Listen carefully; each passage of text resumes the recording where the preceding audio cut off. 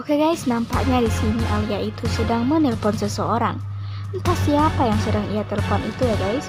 Namun, sepertinya saat ini Alia telah menyiapkan satu rencana. Kira-kira apakah rencananya ini berkaitan dengan Pak Fajar? Atau mungkin rencananya ini malah akan berkaitan dengan Friska? Karena kita juga tahu ya guys bahwa di episode sebelumnya Alia dan Friska sudah bertemu dan mereka membicarakan tentang hubungan kerjasama mereka untuk menjauhkan Tasya dari Lula. Kira-kira apakah karena hal itu membuat Alia memikirkan sesuatu untuk membuat Lula menjauh dari kehidupan Tasya? Kira-kira apa ya guys yang telah direncanakan oleh Alia?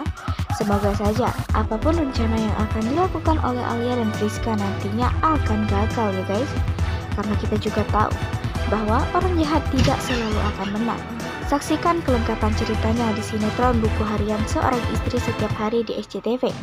Dan Mimin pastinya akan update terus info-info terupdate lainnya di sini. Terima kasih.